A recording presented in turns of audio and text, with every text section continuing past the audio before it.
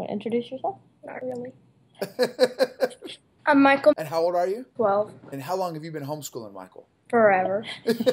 Twelve years.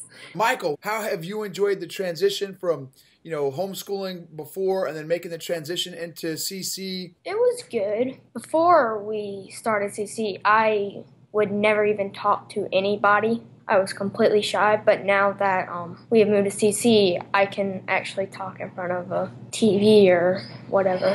Michael, that's awesome, man. Is the reason that you feel more comfortable now with this kind of thing because of, of the, the weekly presentations that you had to do? yeah, Do you have a favorite subject? probably Latin would be my favorite subject. Wow. I'm saying wow. that's no joke, man. That is no joke. Why do you enjoy Latin? Because of the being able to know a different language. It's always fascinated me to be able to learn a different language. Um, how do you like homeschooling, Michael?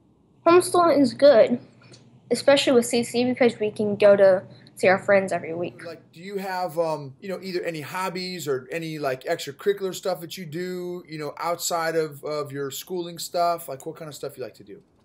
Reading What kind of stuff do you like to read? Most mysteries.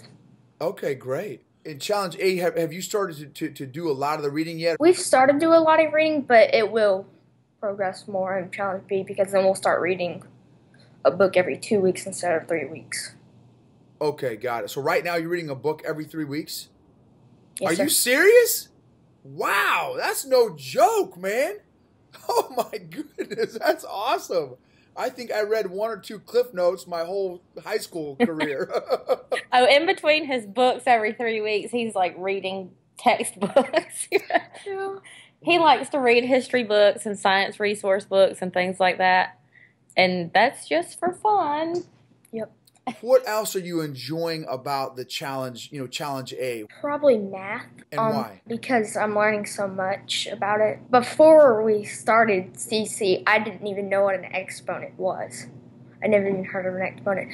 Now I can do like scientific notation, fractions, dividing fractions, mixed fractions, multiplying exponents, and all of that. And you Yeah. like the way that, that it's done in class where y'all kind of discuss your way through problems Yep. together. Instead Um, of just being the homeschooler that sits at a table doing math problems every day, it gives them a chance to, to get with other kids who are having the same or different struggles with those same problems and they get to talk through it together with their tutor. And I think he enjoys that aspect of it. Have, have you thought about what you want to do when you graduate? I want to be an Air Force pilot. Do you know some pilots? Yes, sir.